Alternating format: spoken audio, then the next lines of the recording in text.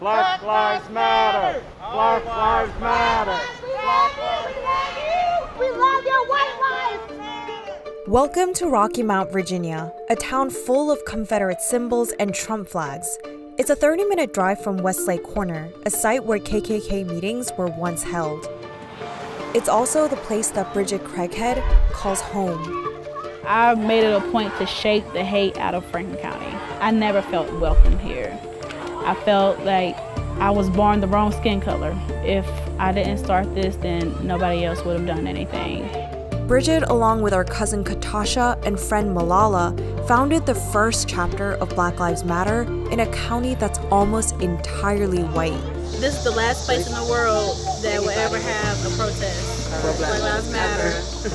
I promise you. The death of George Floyd and the loss of other black lives has sparked a movement reaching even into the whitest parts of the country. But that doesn't mean everyone's listening. All lives matter. I don't believe in racism. I think it's ridiculous. It really is. It's the officers that are killing our brothers and sisters for no reason. That's why Black Lives Matter. This is what fighting for Black lives looks like in one rural American town.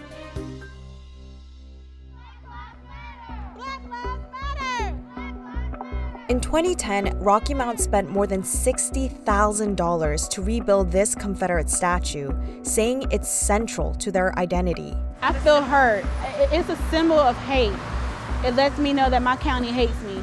When we go to the courthouse, we don't feel justice. I feel like I'm going to a slaughterhouse. The protests in Rocky Mount may be small in size, but voices have only grown louder since the first protests for George Floyd what happened Jacob recently with Jake. like with Jacob Blake, you know. Um, this is a continuous struggle that we're fighting every single day. Even though we're a small town, we are with the whole world that's protesting right now. Hi, Queen. How are you? There's like a comfortable racism that everybody's just kind of accepted. I see it, I hear it. But not all Rocky Mount residents agree with the protests the slavery days, that was back in the day, man, and then everybody's putting us out that we're the bad people. Well, we can't control what happened in the past. Black lives matter! Black lives matter! Black lives matter! I'm protesting for my kids. I'm protesting for a change for them.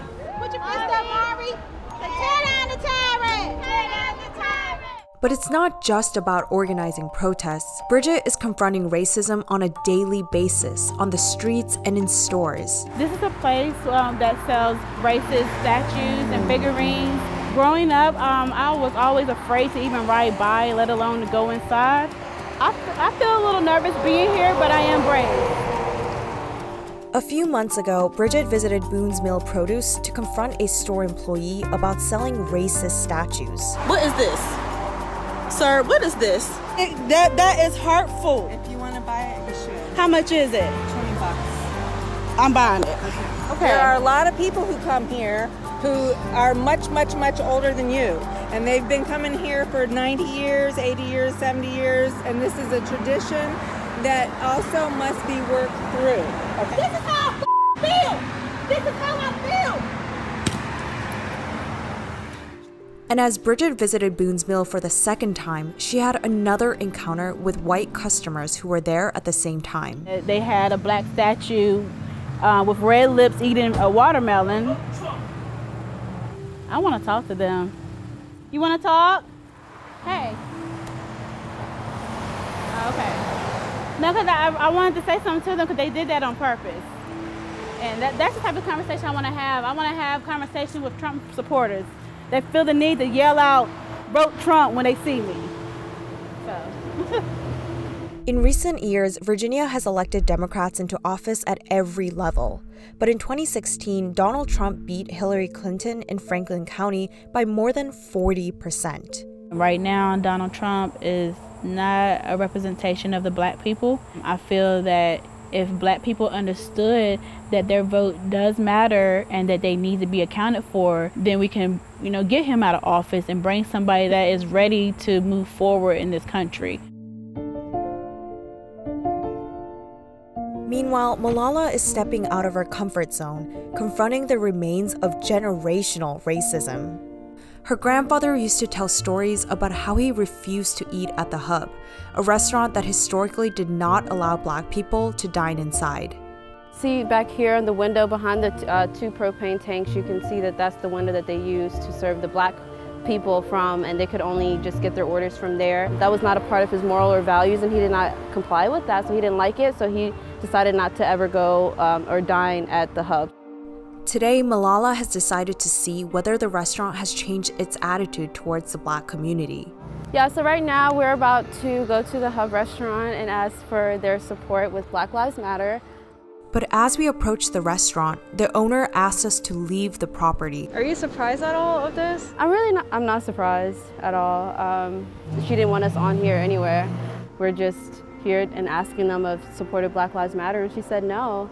I'm thinking she was gonna say no, so. There are all sorts of ways Franklin County is still resistant to change. That was clear when Rocky Mount residents were enraged over Black Lives Matter chalk art on a bridge. We wrote Black Lives Matter right here.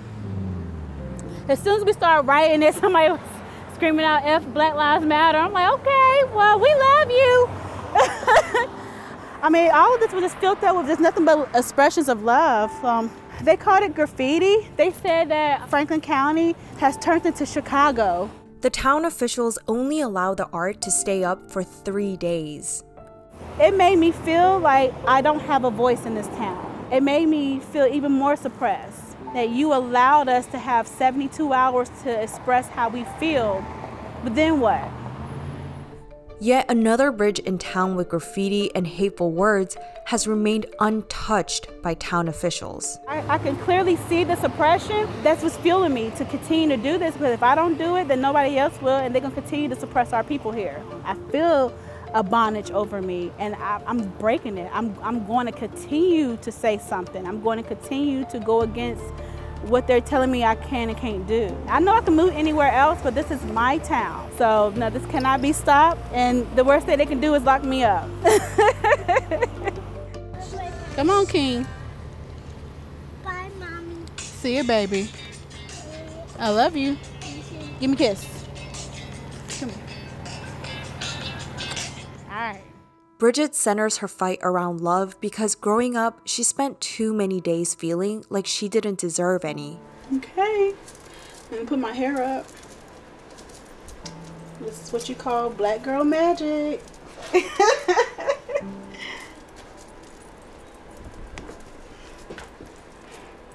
I thought white was right. I didn't think that my skin color was the right skin because in my mind I thought being white was better. I was about nine or ten.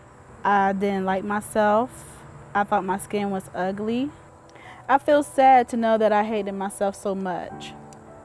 Bridget says she suffered frequent racist abuse from other students at her school that was almost 80% white. I was suspended 33 times from Benjamin Franklin Middle School. You know, even though, you know, they called me a nigger, they felt because I threw the first punch, I should be suspended. The school declined to comment about Bridget's experience. Until June of this year, the Franklin County School Board allowed Confederate gear at school. The school board currently has just one black member. You kick your feet, kick your feet, kick your feet. Growing up in Rocky Mount, Bridget and her cousin Katasha felt like second class citizens. They never questioned why they didn't go to the pool club in town instead of driving to a lake 40 minutes away. This is where I, I learned how to swim. This is where I'm teaching my son how to swim.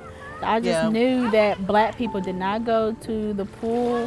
When Bridget called out the pool for its lack of diversity on Facebook, it drew a larger response from some black community members who said they never felt welcome either. That's when the club offered to sell two new memberships for $700, which the swim club said is its standard rate. Katasha and Bridget felt priced out. First of all, I'm trying to make it as a single mama. I don't want to pay $700 to go to swim. swim. The club told AJ Plus it doesn't discriminate against its membership based on race and does not collect racial data from members. Coming here to the lake, it's free, it's freedom. Yeah, I mean, we have the biggest pool in the world. As single moms, both Katasha and Bridget say their fight is for their kids to live in a place of equality. You know, we gotta break break these curses. Like it's gotta stop. Give me a high five. Boom. I don't want a white officer to kill my son. That's my biggest fear for my son. I honestly feel like that I am breaking generational curses yeah. and breaking the chains of suppression. I feel more alive now than ever before. I want everybody else to feel what I'm feeling right now. Like I feel that strength that I, I don't have to be suppressed anymore. I'm free. Hey guys, it's Anna in Franklin County, Virginia. Thank you so much for watching this video. Is your neighborhood also confronting systemic racism? Let us know in the comments below. And don't forget to like, share, and subscribe to AJ Plus.